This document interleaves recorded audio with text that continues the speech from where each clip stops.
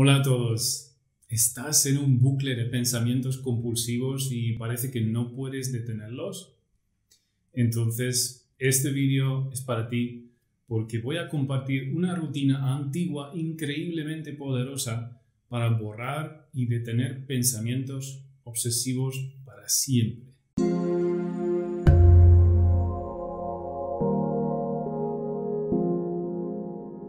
Esta semana alguien me pidió ayuda porque recientemente había experimentado un ataque de ansiedad por primera vez en su vida.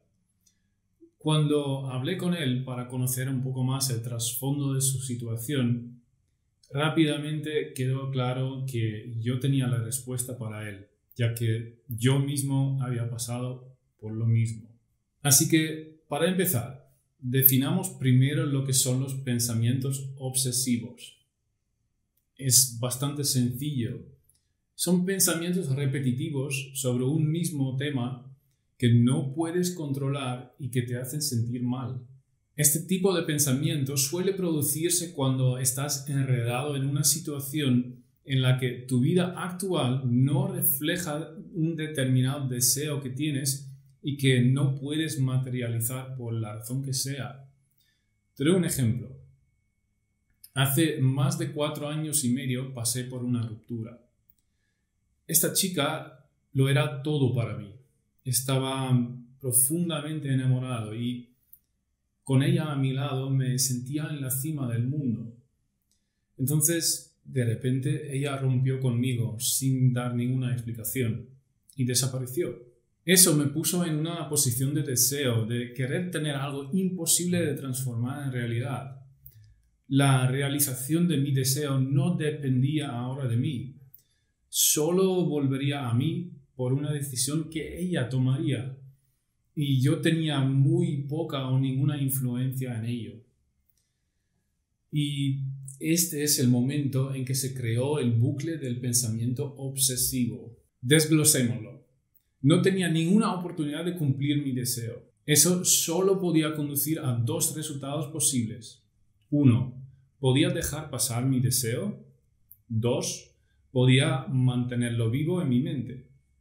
Y aquí es donde las personas que entran en una dinámica de pensamientos obsesivos cometen el error que puede conducir potencialmente a la ansiedad y la depresión. El miedo a perder a esta persona creó una suposición errónea y para mantener vivo de alguna manera el vínculo con esta chica, Entré en un ciclo continuo de deseos sobre el futuro y rumiando el pasado con ella como tema principal, día tras día, durante más de cuatro años. Entonces, ¿cómo dejé de hacerlo?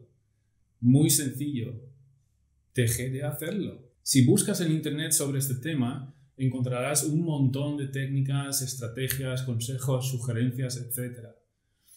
Una de las más comunes es sustituir el pensamiento obsesivo por otro más positivo. U otra que me parece bastante divertida es gritarse internamente, cancela, cancela.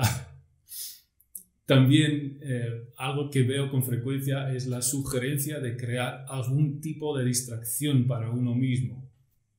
Puede ser en forma de actividad física o cualquier cosa que requiera tu atención activa. Ahora bien, no me malinterpretes, estoy seguro de que estos enfoques pueden tener un efecto positivo, aunque dudo mucho de su eficacia a largo plazo. Sin embargo, hay una forma mucho más poderosa de detener completamente los pensamientos obsesivos y es mucho más fácil que las técnicas que acabo de mencionar. Antes de explicar la técnica en sí, es importante entender algunas cosas. Tú, manteniendo el tema de tu deseo vivo en tu mente en un bucle obsesivo, estás acechando energéticamente a tu sujeto. Los pensamientos son energía y los pensamientos no son locales, lo que significa que inadvertidamente mantienen la conexión energética con, digamos, la persona que domina tus pensamientos compulsivos. Así que sin que te des cuenta, estás consiguiendo el resultado contrario al deseado.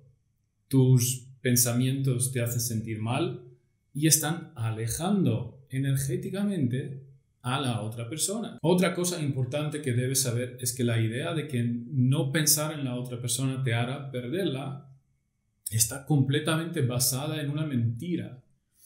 En el mundo de las formas ya ocurrió. La perdiste a ella o a él.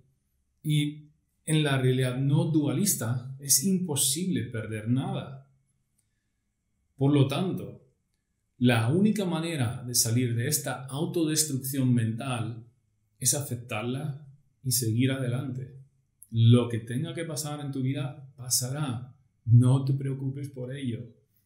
Sucederá porque ya lo hizo. Lo último que debes entender antes de que te explique la técnica es que no es cierto de que no puedas controlar tus pensamientos.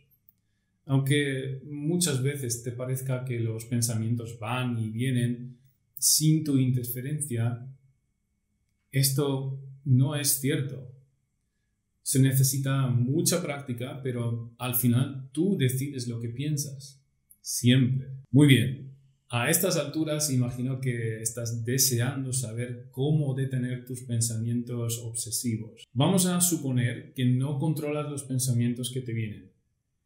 Entiende que el problema de los pensamientos obsesivos no son los primeros pensamientos que te vienen aparentemente de la nada son los pensamientos que creas y construyes alrededor de esos primeros pensamientos los que te meten en el ciclo negativo del pensamiento destructivo. Entonces, lo que todos los hombres y mujeres sabios e iluminados de la antigüedad ya sabían y practicaban es intervenir entre esos primeros pensamientos y los que crean y construyen alrededor de ellos. Se le ha llamado meditación, se le ha llamado mindfulness, otros pueden llamarlo observación interior activa y otros prefieren llamarlo desapego.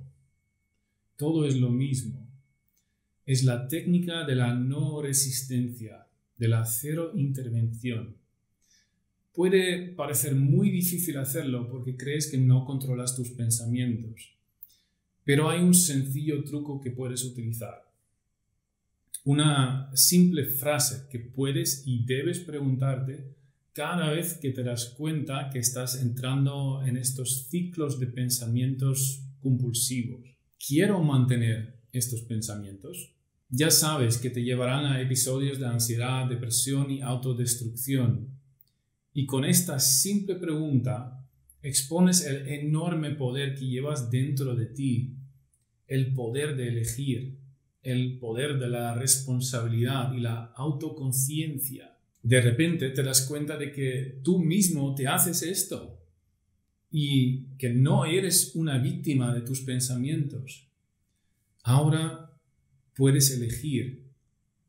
Mantienes estos pensamientos, los alimentas, les das tiempo para que sigan emitiendo en tu mente o observas ese primer pensamiento y decides que tienes algo más valioso e importante que perseguir en la vida y eliges simplemente continuar tu observación y mantener toda tu atención en las cosas que sirven a tu propósito superior en la vida. Y te eliges a ti mismo, eliges la vida, eliges la libertad.